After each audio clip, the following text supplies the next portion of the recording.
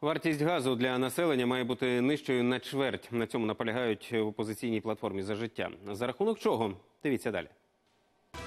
Заради того, аби підвищити рівень життя українців, і головне, аби нарешті досягти миру на Донбасі. В опозиційній платформі за життя одностайно вирішили, будуть брати участь у дострокових виборах до парламенту. Мы принесем в страну мир. Мы улучшим жизнь людей. Мы восстановим стабильность. Мы сделаем все, Что они хотят видеть в стране, потому что мы знаем, как это делать, в отличие от многих. И я убежден, что задав такой старт, как сегодня, начав эту работу, начав эту борьбу, мы достигнем успеха, и вам не будет стыдно за то, что вы нас отправили в бой.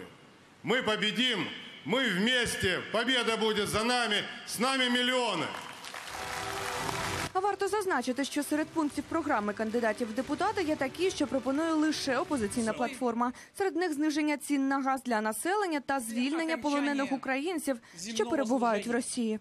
Мы должны сделать экономику страны, которая бы служила мостом между Западом и Востоком. Это главная задача в вопросах экономики и социальной сферы. Наши враги – это те процессы, которые происходят в нашем обществе.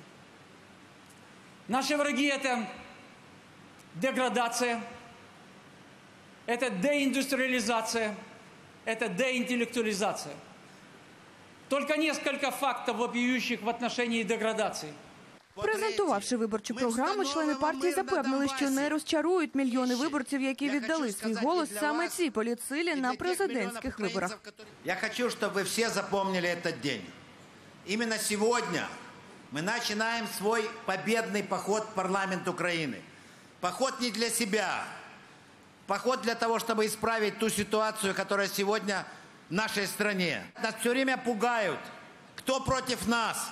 Так вот, не думайте, кто против нас. Думайте, кто с нами. Вы с нами. Вы, миллионы людей, украинцев с нами. Воевать и разрушать очень легко. А настоящие герои – это те, кто устанавливают мир и начинают строить. И у нас сегодня с вами уникальный шанс и уникальная возможность объединить всех вместе, людей мира в нашей стране, идти, строить и побеждать. Також депутати нагадали, українці мають бути готові до того, що по закінченні парламентських виборів буде призначений новий очільник уряду. І опозиційна платформа за життя має гідного претендента.